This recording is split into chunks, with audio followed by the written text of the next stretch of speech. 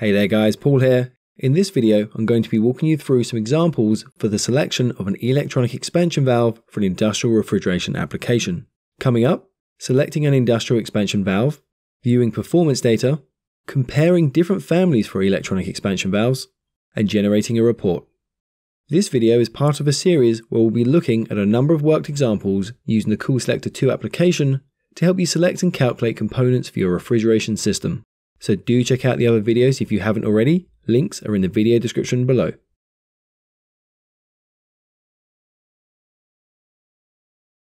Different types of expansion valves are used in industrial systems based on the requirements and the conditions.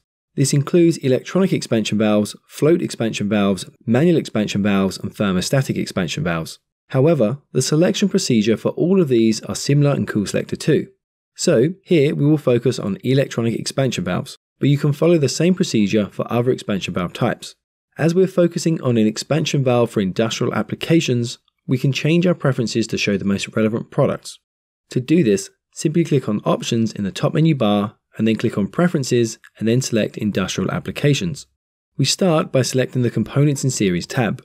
We start here since the components in the liquid line are in series and that will affect each other's performance significantly. This option will therefore generate better results. We then choose the system type and where in the system the valve will be installed. In this example, we'll use the liquid line of the pump system. Now we need to choose which type of refrigerant we require. In this example, we require a valve for an ammonia system, and we can see that it has already been selected as we chose industrial applications in our preferences. The next thing we need to do is define the operating conditions. For this example, we require a cooling capacity of 400 kilowatts an evaporation temperature of negative 20 Celsius, and a condensation temperature of 30 Celsius. We'll also use a condenser subcooling value of 0 for now. Then we can select the electronic expansion valves option from the product section. The product families have now been filtered to show the applicable products. We can hover our mouse over the titles to display a product photo as well as a brief description. In this example, we'll choose an ICM valve. To add the valve to the line, we can either click and drag it from the product family section and drop it into the line, or double click the title in the product family list. The application will then select a suggested product which best matches our default selection criteria for an expansion valve. To know more about the default selection criteria for different products, check out our video on tools and preferences. You can find links to this in the video description down below. You can change the suggested selection by clicking on the expansion valve icon in the line. A pop-up will then appear listing a number of products. Many of the products have red text. This is warning us that the product has compatibility issues with our conditions and criteria. In the rightmost column titled Results, we can see a warning symbol. If we hover our mouse over this symbol, we can see what the compatibility issue is. Additionally, if we hover the mouse over the products with the red warning text, a warning will appear in the list header with a brief description of the issue. Now let's add some piping after the expansion valve. We do that by selecting piping from the product section, and a list of different pipes and fittings will then appear in the product family section. In this example, we'll choose steel pipe, so we double click on steel pipe DIN EN to automatically add this to our line.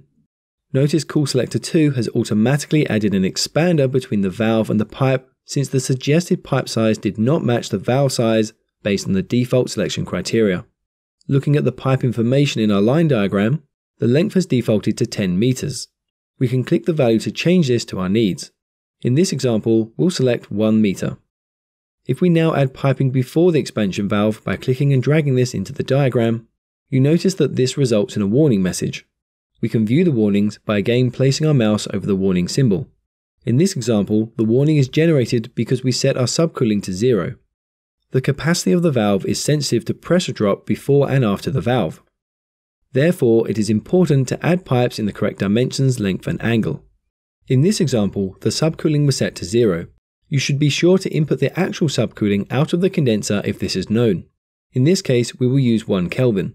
If the subcooling for your system is not sufficient to remove the warning, it is recommended to reconsider the inlet piping However, Coolselector 2 will automatically reduce the capacity based on the actual inlet condition.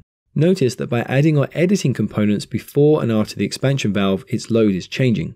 Additionally, due to phase change, a much larger pipe is required after the valve compared to the one before the valve. This applies to any other component that you may need to add to a liquid line.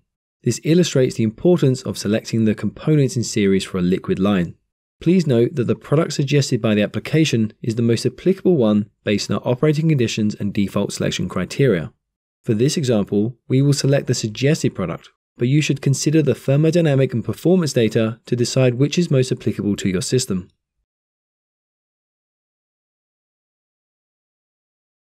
To view the performance data, we head to the lowest segment of the window.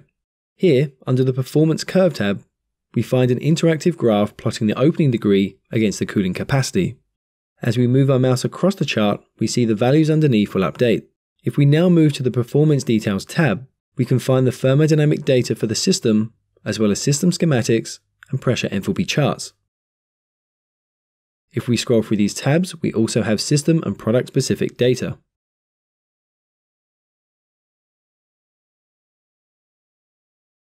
Now we want to compare our selection with an alternative from the AKVA product family. To do this, we need to remove the ICM valve by clicking on the small x just above the icon. We can then drag and drop an AKVA valve from the product families list into the line diagram. You may notice that in the results row there's an information notice. This is because the AKVA is a pulse width operated valve, while the ICM is a stepper motor valve. This means that the AKVA valve is fully open when it is open, and to calculate the velocity of the inlet and outlet, the capacity should be replaced by a capacity which results in a load higher than 95%. This is also why the performance curve of an AKVA is completely linear. You can see that in the performance section at the bottom of the screen. It's linear because it is essentially composed of two points, the fully closed situation and the fully open situation, while the performance curve of the ICM represents the valve opening degree against the cooling capacity, which is not linear.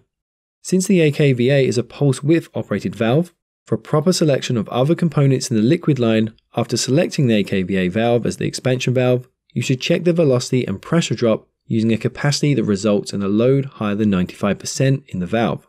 This may require you to change your selections.